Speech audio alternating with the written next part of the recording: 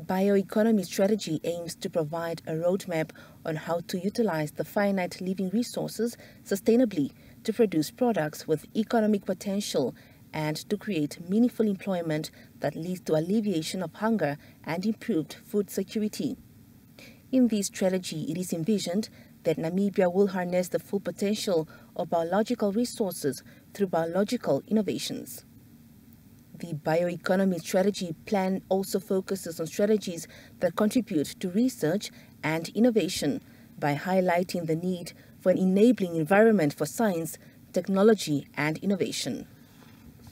Chairperson of the National Commission on Research, Science and Technology, Jacob Nyambe, expressed his gratitude towards this initiative, which makes Namibia the second country to restructure biodiversity strategies in Africa.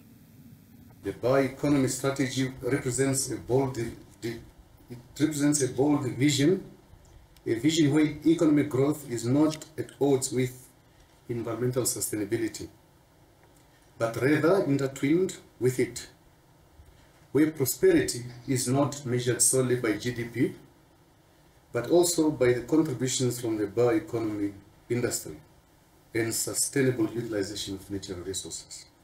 Deputy Minister of Higher Education, Technology and Innovation shared her expectations through this initiative, highlighting that the bioeconomy strategy plan should not only be a decorated paper, but should yield tangible results that will contribute to the economy.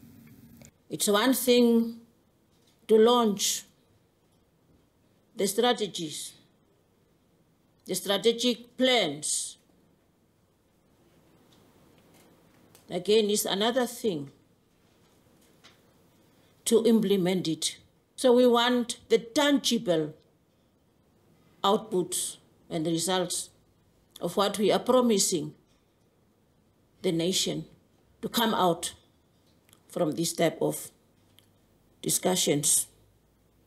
She further said that Namibians should remember that although it is good to create employment and come up with businesses by using natural resources, natural resources should be utilized responsibly and sustainably.